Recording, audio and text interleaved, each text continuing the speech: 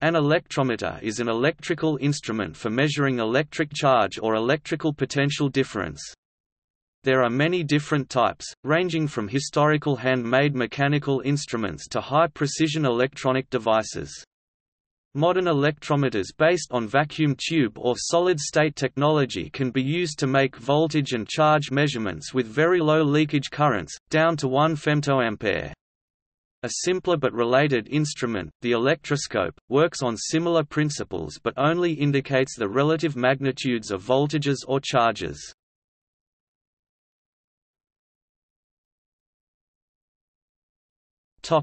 Historical electrometers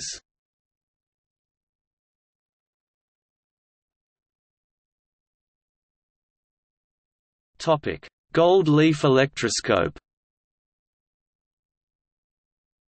The gold leaf electroscope was one of the instruments used to indicate electric charge.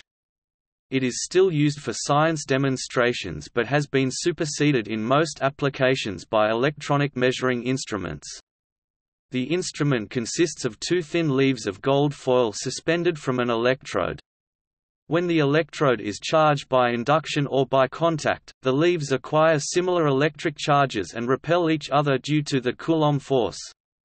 Their separation is a direct indication of the net charge stored on them. On the glass opposite the leaves, pieces of tin foil may be pasted, so that when the leaves diverge fully they may discharge into the ground.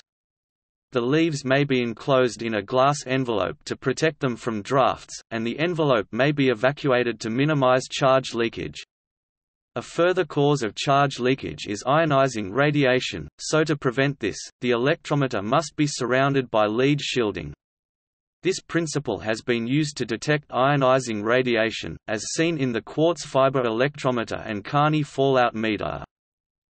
This type of electroscope usually acts as an indicator and not a measuring device, although it can be calibrated. The Braun electroscope replaced the gold leaf electroscope for more accurate measurements. The instrument was developed in the 18th century by several researchers, among them Abraham Bennett (1787) and Alessandro Volta.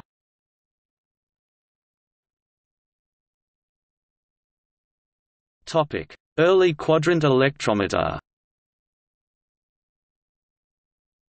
While the term quadrant electrometer Eventually referred to Kelvin's version, this term was first used to describe a simpler device. It consists of an upright stem of wood, to which is affixed to a semicircle of ivory. From the center there hangs a light cork ball upon a pivot. When the instrument is placed upon a charged body, the stem participates and repels the cork ball. The amount of repulsion may be read off the graduated semicircle, though the measured angle is not in direct proportion to the charge. Early inventors included William Henley (1770) and Horace Benedict de Saussure.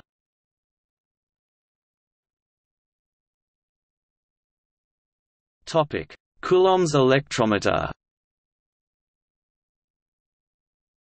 Torsion is used to give a measurement more sensitive than repulsion of gold leaves or cork balls. It consists of a glass cylinder with a glass tube on top.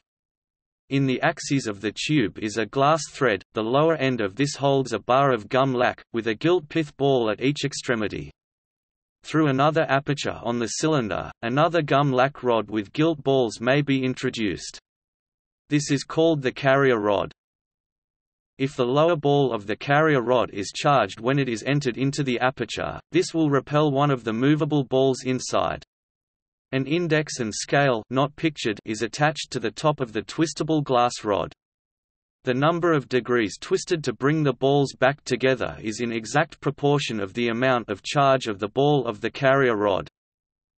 Francis Ronalds, the inaugural director of the Kew Observatory, made important improvements to the Coulomb torsion balance around 1844 and the modified instrument was sold by London instrument makers.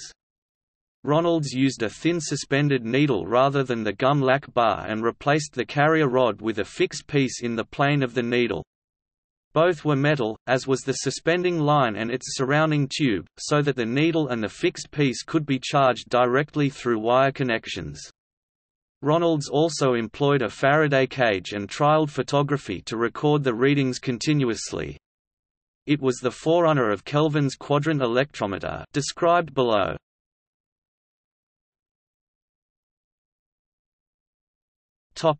Peltier electrometer Developed by Peltier, this uses a form of magnetic compass to measure deflection by balancing the electrostatic force with a magnetic needle.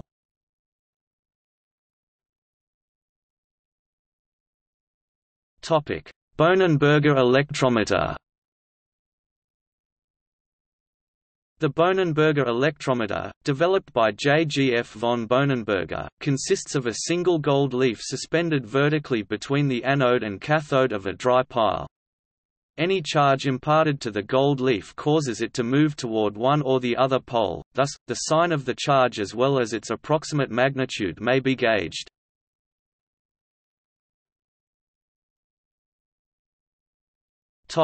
Attraction electrometer Also known as attracted disk electrometers. Attraction electrometers are sensitive balances measuring the attraction between charged disks. William Snow Harris is credited with the invention of this instrument, which was further improved by Lord Kelvin.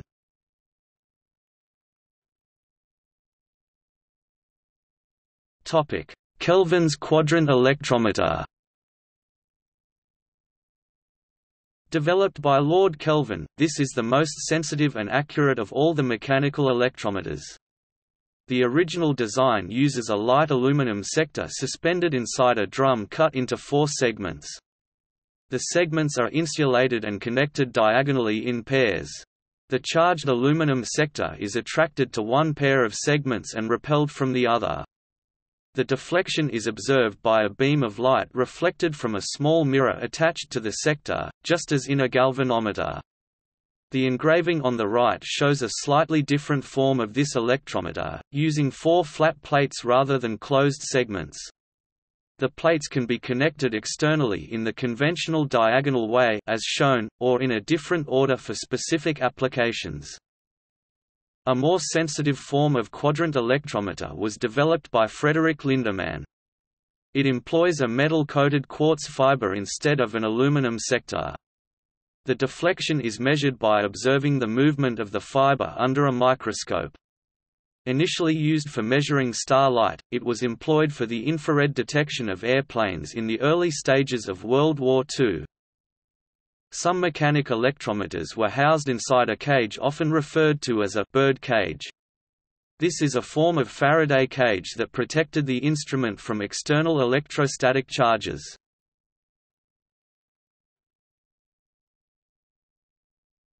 Topic: Electrograph Electricity readings may be recorded continuously with a device known as an electrograph. Francis Ronalds created an early electrograph around 1814 in which the changing electricity made a pattern in a rotating resin-coated plate. It was employed at Kew Observatory and the Royal Observatory, Greenwich in the 1840s to create records of variations in atmospheric electricity. In 1845, Ronalds invented photographic means of registering the atmospheric electricity. The photosensitive surface was pulled slowly past of the aperture diaphragm of the camera box, which also housed an electrometer, and captured ongoing movements of the electrometer indices as a trace. Kelvin used similar photographic means for his quadrant electrometer see above in the 1860s.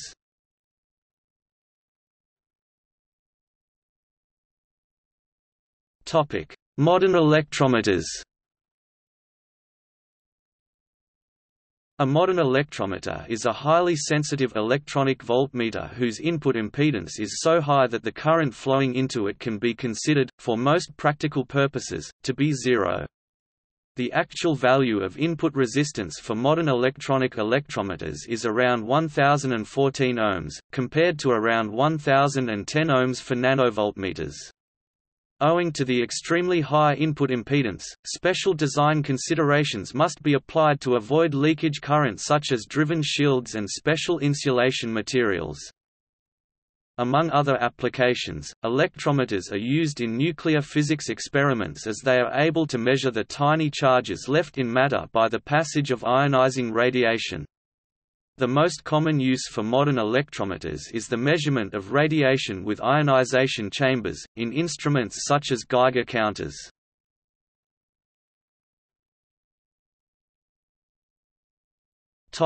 Vibrating reed electrometers Vibrating reed electrometers use a variable capacitor formed between a moving electrode in the form of a vibrating reed and a fixed input electrode. As the distance between the two electrodes varies, the capacitance also varies and electric charge is forced in and out of the capacitor. The alternating current signal produced by the flow of this charge is amplified and used as an analog for the DC voltage applied to the capacitor. The DC input resistance of the electrometer is determined solely by the leakage resistance of the capacitor, and is typically extremely high, although its AC input impedance is lower. For convenience of use, the vibrating reed assembly is often attached by a cable to the rest of the electrometer. This allows for a relatively small unit to be located near the charge to be measured while the much larger reed driver and amplifier unit can be located wherever it is convenient for the operator.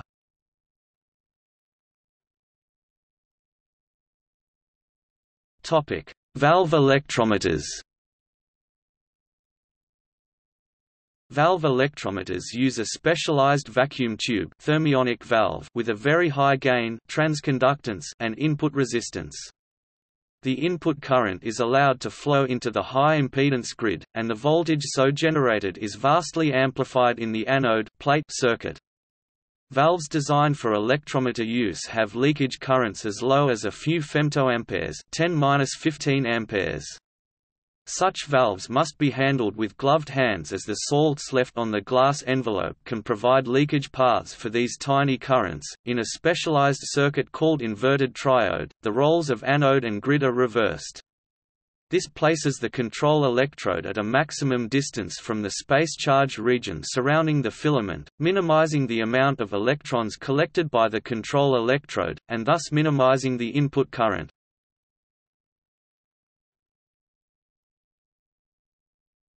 Topic: Solid-state electrometers. The most modern electrometers consist of a solid-state amplifier using one or more field effect transistors, connections for external measurement devices, and usually a display and or data logging connections. The amplifier amplifies small currents so that they are more easily measured. The external connections are usually of a coaxial or triaxial design, and allow attachment of diodes or ionization chambers for ionizing radiation measurement. The display or data logging connections allow the user to see the data or record it for later analysis. Electrometers designed for use with ionization chambers may include a high-voltage power supply, which is used to bias the ionization chamber. Solid-state electrometers are often multi-purpose devices that can measure voltage, charge, resistance and current. They measure voltage by means of voltage balancing, in which the input voltage is compared with an internal reference voltage source using an electronic circuit with a very high input impedance of the order of 1014 ohms. A similar circuit modified to act as a current-to-voltage converter enables the instrument to measure currents as small as a few femtoamperes. Combined with an internal voltage source, the current measuring mode can be adapted to measure very high resistances, of the order of 1017 ohms. Finally, by calculation from the known capacitance of the electrometer's input terminal, the instrument can measure very small electric charges, down to a small fraction of a picocoulomb.